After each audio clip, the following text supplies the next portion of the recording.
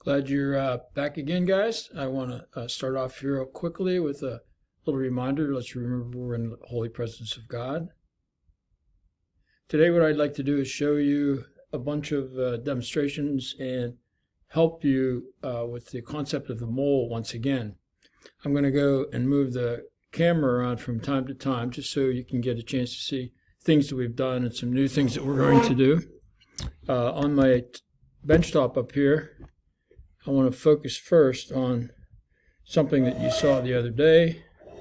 These are those four different metals that we looked at, aluminum, zinc, copper, and iron. And we massed all of them, found that their masses matched up with the values of masses on the periodic table. What I want to do today is show you information that goes on a little further than that. Uh, you'll remember that we took a look the other day at uh, some pennies. We talked about the jar of pennies and how would we figure out what is the number of pennies in here. A couple different ways. A bunch of guys suggested to me that you could just literally count them. Uh, two or three uh, students actually suggested by massing them, and one student, uh, one or two students also uh, suggested doing it, doing it by volume. So all of the answers were correct. On my whiteboard up here, I'm going to move this a little closer too so you can see. I have illustrated ways in which you can count things. So hopefully uh, the, the visual is coming up for you pretty well. Um, wait, let me stop and move this closer. I'd like you to look at uh, some of the materials i have listed here. First of all, with the pennies, we talked about the idea that you could count them. We also mentioned the fact that you can mass them, and they all take up a certain volume. So we can do counting, massing, and getting volume. The next idea, which we talked about, was the metal blocks. We took only one, but we massed it, but we also could get its volume. We can take a little metric ruler and figure out how big it is. Uh, the next idea is one that I'd like to show you here on the tabletop. First of all, I'm going to indicate that it's a dice or a bunch of dice. We can count them.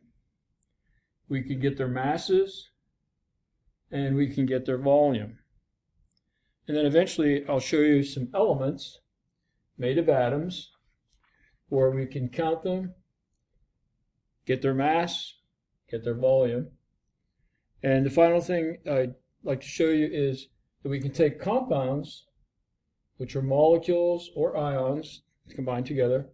We can count them, mass them, and determine their volume. So all of the arrangements of particles here can be measured in the same fashion. Now let me move a little closer here to the next demonstration. I'm going to turn the camera down so that you're looking at one of our electronic scales. I've taken a single die and what I want to do is get its mass. So I'll place it on the balance and it quickly reads 5.43. And on my board, I've indicated that one die has a mass of 5.43 grams. In this container, in the beaker, I have 11 die or dice. I'm going to add them to the one that's on the balance already. So we'll have a total of 12. And we'll mass them. So here's what it looks like on the balance. Here's our pile of a dozen dice. And I'm going to read the number off of the uh, display on the balance, and it's reading 67.10. So let me go back to what we have on the whiteboard up here. 67.10 is the current mass.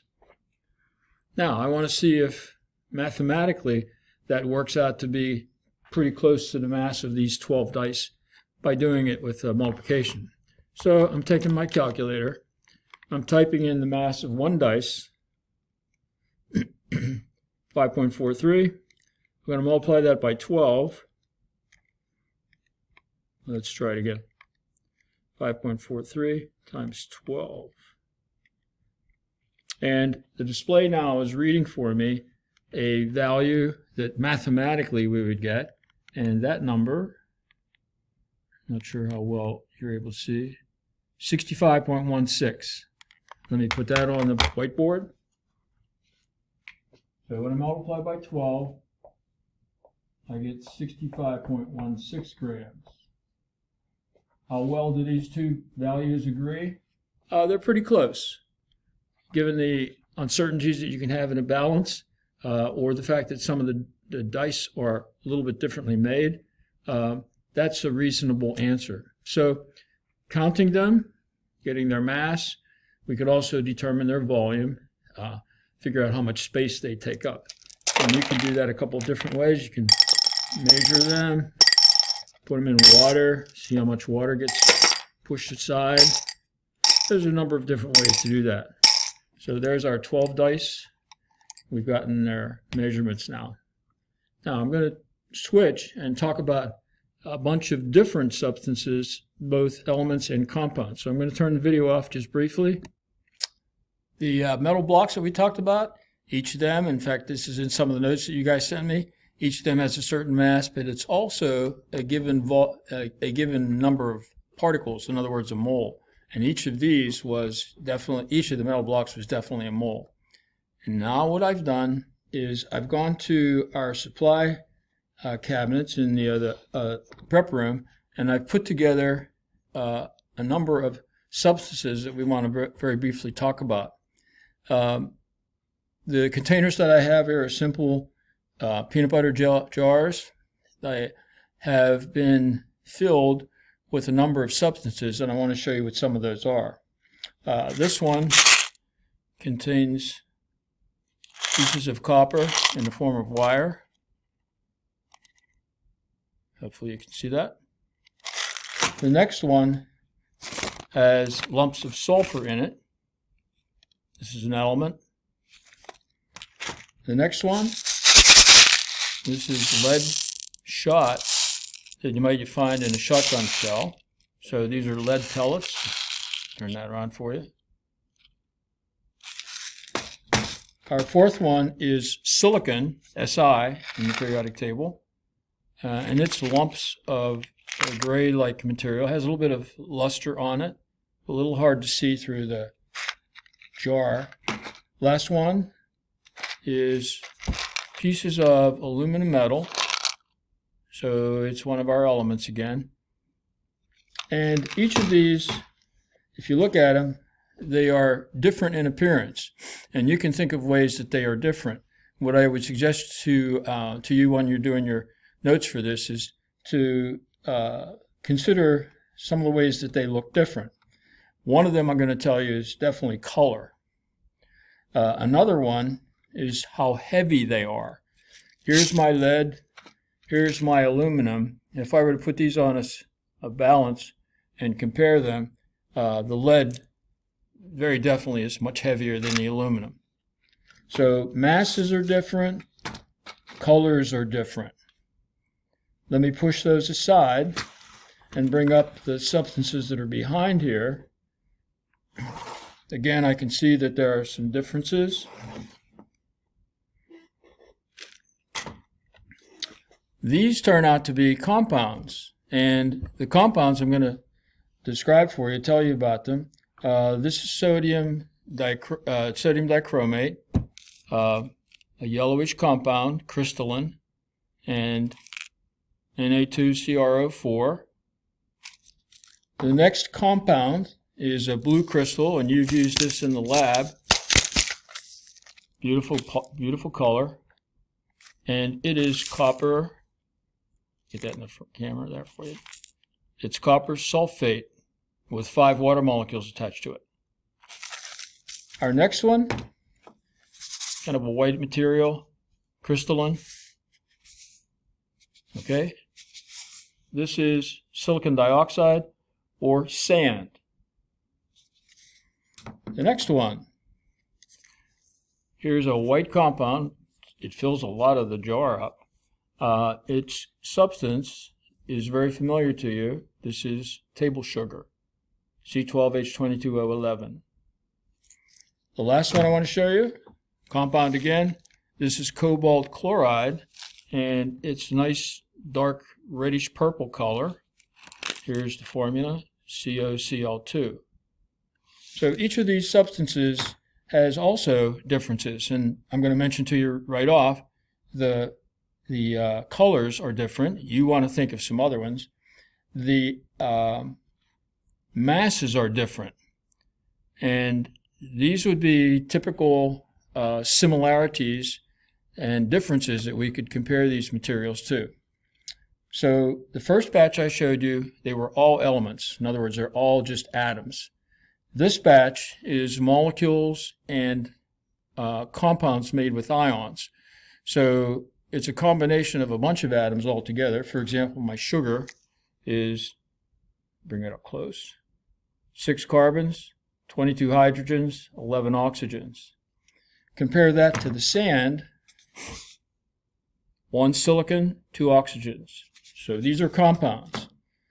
So on your notes, you uh, want to put down some differences that there, there are among all of these materials. There are different masses, different colors, and you think of some other ones. Now, each of them has a similarity. They're all the same of something. And the something is what we have up on the board here.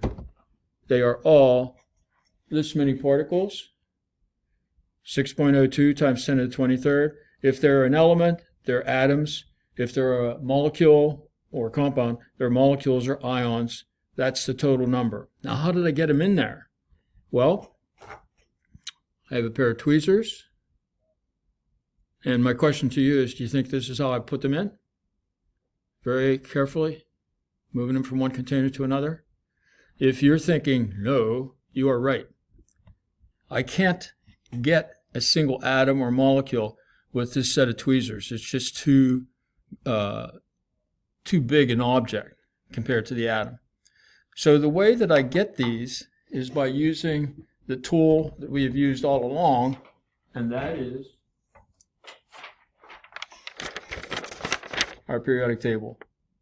If I was doing the elements, such as I have here, lead and sulfur, I just simply look them up on the periodic table, find their mass, mass them on a balance, put them in the jar. I did not use tweezers. I used a little scoop, pick them up, dump them into, they were the right mass. If I was doing a compound, I would take the compound's formula, look it up. Here we go again, copper sulfate, Look at all the components that make it up for copper sulfate. Let's try to keep that still for you. I got a copper, one sulfur, four oxygens, five times two or 10 hydrogens, and five times one, five oxygens, all combined together to make the compound. And what I have to do is take all those individual atoms, count them out using the periodic table, get their mass, and add all the values together. That's how I figure out what to put in the jars. So each jar represents one mole, the same number of particles, but having different masses, different uh, colors, and you're going to try to figure out some other things that are slightly different about them. Now I'm going to stop the video and show you some more things up on the front here on the bench.